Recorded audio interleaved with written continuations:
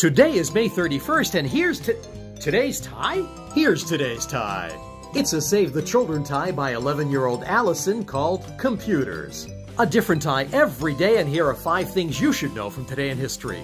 On this date in 1279 BC, Ramses II, also known as Ramses the Great, became Pharaoh of Egypt. In 1879, Madison Square Garden opened in New York City. It was named after the fourth President of the United States, James Madison.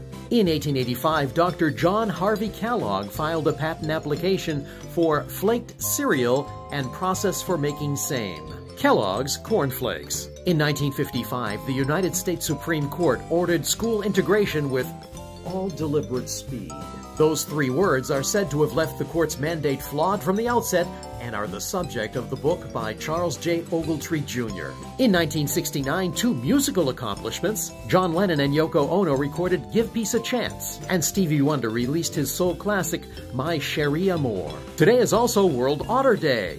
Infidelity Hurts Awareness Day, National Senior Health and Fitness Day, National Flip Flop Day, National Macaroon Day, World No Tobacco Day, Web Designer Day, National Speaking Complete Sentences Day, and the Scripps National Spelling Bee. Can you spell Scripps? Born on this day in 1819, American poet Walt Whitman.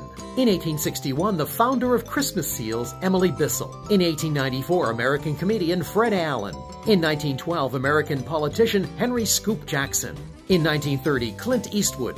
In 1938, the Peter of Peter, Paul, and Mary, Peter Yarrow. In 1943, Joe Namath. In 1948, English rock drummer of Led Zeppelin, John Bonham. In 1965, Brooke Shields. In 1976, Irish actor Colin Farrell. And in 2007, the TikToker who maxed out the people he could follow, my friend and fellow nerd, Mitch the Human. If it's your birthday today, or if it's coming soon, let us know in the comments section. And that's just some of what happened in history today.